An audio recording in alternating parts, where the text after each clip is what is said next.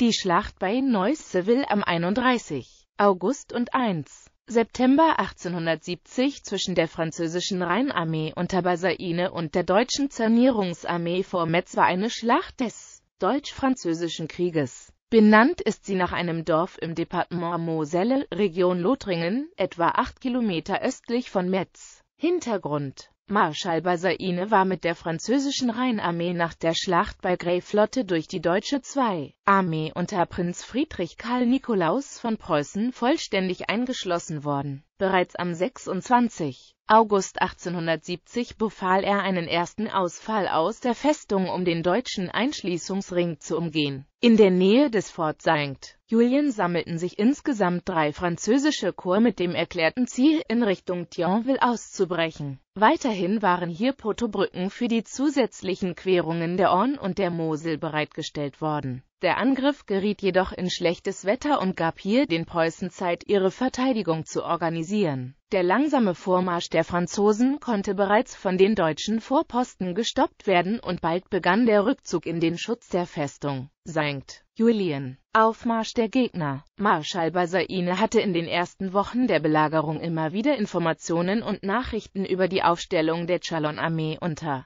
Marschall McMahon erhalten, unterrichtet selbst jedoch erst am 29. August seine Korpsgeneräle vom bereits laufenden Entsatzversuch. Diese späte Information war nach dem Krieg einer der Hauptvorwürfe gegen Bazaine im Kriegsgerichtsverfahren wegen Verrat. Bazaines Plan sah vor, auf dem rechten Ufer der Mosel mit seiner ganzen Armee die feindliche Einschließung zu durchbrechen, bei Dienhofen die Mosel zu überqueren und sich in Richtung Sidan mit McMahon zu vereinigen. Er ordnete für einen neuerlichen Ausfall an, dass das dritte, vierte und als Reserve das 2. Korps in der Nacht des 30. August die Brücken unterhalb der Festung überschreiten und am nächsten Morgen die beherrschende Höhe von Ste Babe nehmen sollten. Erst nach Erstürmung der Höhe sollte der Abmarsch der Armee angetreten werden. Aus unerklärlichen Gründen verzögerte jedoch Marschall Bazaine den Beginn der Schlacht immer weiter, so dass es wiederum den Preußen möglich war, Verstärkungen heranzuziehen. Ursprünglich standen in Neuss-Seville lediglich drei preußische Bataillone. Den deutschen Truppen standen etwa 90.000 Franzosen, acht Infanteriedivisionen und mehrere Kavalleriebrigaden mit zusammen 162 Geschützen gegenüber. Allerdings erhielten die deutschen Truppen auch Verstärkung von der linken Seite der Mosel. Teile des X.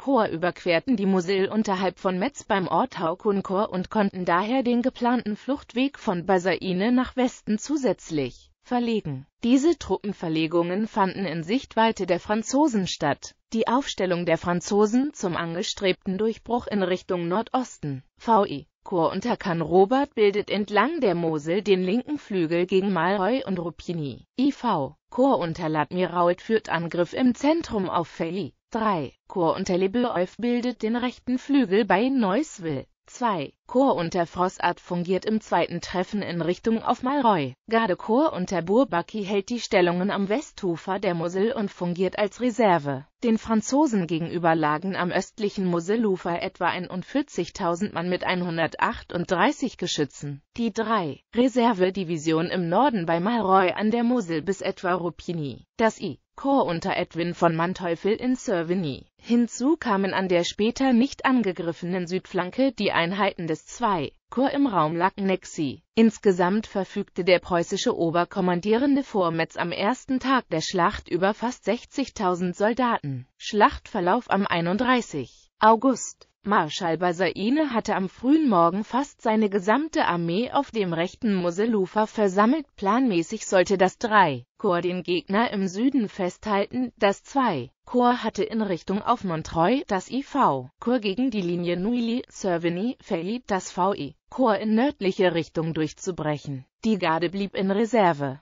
Anstatt einen sofortigen Angriff zu befehlen, wurden ab Mittag noch schwere 24 Pfund Festungsgeschütze aus dem Fort St. Julien nach St. Barbe gebracht, um die angelegten Straßensperren zu zerstören. Diese Maßnahme kostet erneut mehrere Stunden. Erst 4 Uhr nachmittags wurde unterstützt durch ein heftiges Geschützfeuer der Kampf begonnen. Der erste Angriff richtete sich gegen die Linien der preußischen 1. Division unter Generalleutnant von Bentheim zwischen Fely und Neussville. Als der französische Angriff begann, empfing General der Kavallerie von Manteuffel den auf Ste Barbe vorgehenden Feind sofort mit so wirksamem Feuer von 60 vor die eigentliche Verteidigungslinie vorgegangenen Geschützen, dass das Vordringen der Franzosen bereits hier ins Stocken geriet. Nur auf dem rechten Flügel entriss die Brigade Justin Clinchant dem 4. Regiment das Dorf Neuss-Civil um 6 Uhr, während ein Versuch der preußischen 3. Infanteriebrigade unter von Memati, das von den Franzosen besetzte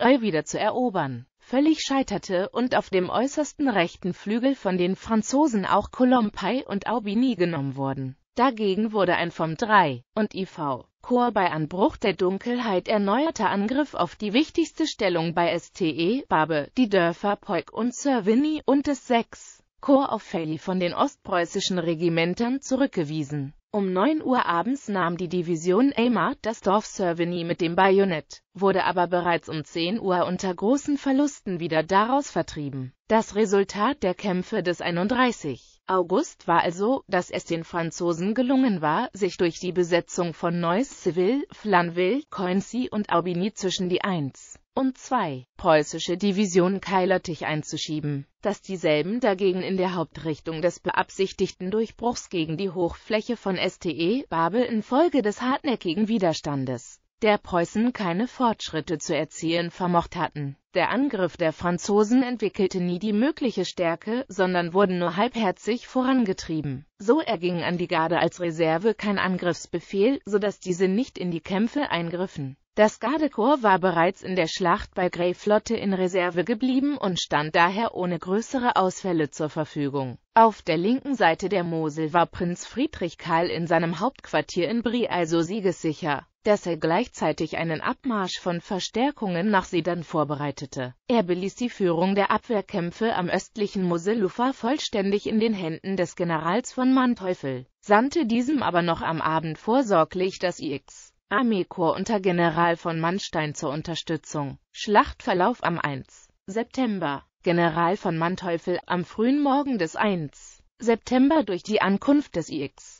Armeekorps verstärkt, versuchte das am Vortag verlorene Neuss-Civil wieder zu erobern, ein Unternehmen, das der preußischen 1. Division unter von Bentheim trotz energischer Angriffe aber nicht gelang. Ein weiterer Angriff der Brigade Memati drang zwar in Flanville ein, scheiterte aber bei einem weiteren Angriff auf Neussville. Vom Norden her rückte aus dem Valieres-Tal auch die 6. Manteuffel brachte die Artilleriestellung gegen Neussville auf 114 Geschütze und ließ jetzt herankommende Reserven zum neuerlichen Angriff, diesmal gegen die rechte Flanke der Franzosen ansetzen. Das Eingreifen der 28. Brigade entriss der französischen Division unter General Fauvad Bastoul die Dörfer Flanville und Coincy. Marschall Edmund Lebeouf sah seine rechte Flanke gefährdet und gab seinem Korps den Befehl zum Rückzug, dem sich auch die nördlicher stehenden Korps anschließen mussten. Ein Angriff der Franzosen auf Ferly und Rupigny wurde nicht nur abgewiesen, sondern nach dem vollständigen Eingreifen der 18. Division unter General von Wrangel sogar über den Bach von Chialis zurückgeworfen um 11 Uhr besetzten die Preußen ohne Widerstand Neuss-Civil wieder, und in der Mittagsstunde befand sich die gesamte französische Armee unter dem Schutz der Kanonen von Metz im geordneten Rückzug in die Festung. Die Verluste der am zweiten Schlachttag auf 70.000 Mann und 300 Geschütze verstärkten deutschen Armee am Ostufer der Mosel betrugen in den zweitägigen Kämpfen an Toten und Verwundeten 128 Offiziere